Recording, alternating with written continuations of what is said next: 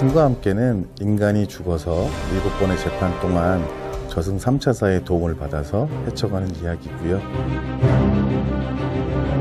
어, 엄청난 열풍이 분 웹툰이었고 그 웹툰을 접하는 순간 좀 굉장한 작품을 만났구나라는 게 약간 소름이 돋는 그런 느낌을 가졌기 때문에 이건 꼭 영화로 만들어야 되겠다.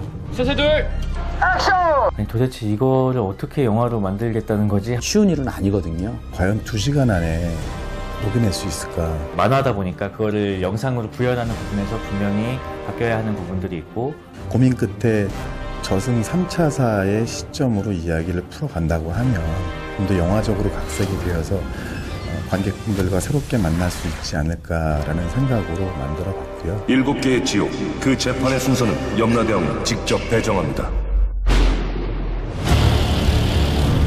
하정우, 차태현, 주지훈, 이정재 이분들이 한데 모아서 어떤 에너지를 낼까?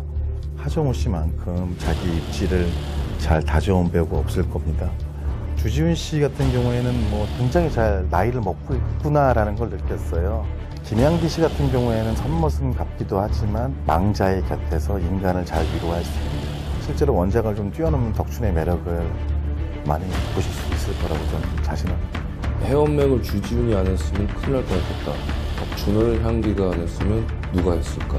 캐스팅 참 잘했다는 생각이 들었어요. 차태현 씨는 순간적으로 집중해야 되는 굉장히 어려운 연기거든요. 저는 진짜 감탄을 했어요. 염라 대왕이면 카리스마와 위용을 가져야 될 텐데 그럴 사람은 몇 없다. 이정재 씨에게 부탁을 해보는 게 어떻겠냐. 정말 너무들 베테랑이어서 제가 그냥 이렇게 그들이 하고 있는 걸 지켜보고 있거나 그들에게 집중하고 있으면 해결되는 부분들이 굉장히 많더라고요. 최첨단의 기술력이 총동원되어야만이 가능한 이런 영화가 잘 해낼 수 있는 감독이 역시 이제 김용화 감독이라고 생각했고요. 우리가 좀 익숙한 것이 장대하고 끝없이 이어졌다고 하면 저승이 그렇지 않을까라는 생각도 되게 많이 해서 물하고 불 그리고 철, 얼음, 거울, 공기 그리고 모래가 감독님이 제안해 주신 일곱 가지 물성이었는데요. 그 지옥에 어울릴 만한 것들로 reference를 찾아서 구현을 한 과정들을 조금 핵심으로 보고 진행을 했었어요. 실제 있는 공간들을 보여줌으로써 리얼리티를 조금 더 살리는 방향으로 좀 접근을 했었어요. 검수림이라는 그 세트에서 촬영을 하는데 세트 창문을 딱 열고 들어갔을 때 굉장히 놀라웠었어요. 산 속에 온 것 같은 흙냄새와 풀냄새가 나더라고요. 정말 산의 어떤 일부분 언덕을 그대로 재현해 놓고 세팅하는 걸 보고선 말로 표현할 수 없을 만큼 대단하다는 생각이 들었었어요.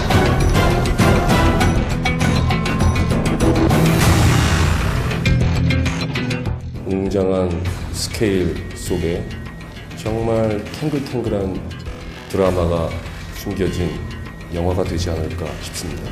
정말 다양한 캐릭터들이 나오는 영화예요. 감성적으로, 감정적으로 굉장히 무게감 있는 그러한 영화입니다. 참 여러 가지 생각을 할 수 있는 따뜻한 영화니까요. 재밌게 즐겨주셨으면 좋겠습니다. 너무너무 많이 기대가 많이. 기대에 어긋나지 않는 영화가 될 수 있도록 준비했습니다. 올 겨울 신과 함께 기대해 주세요.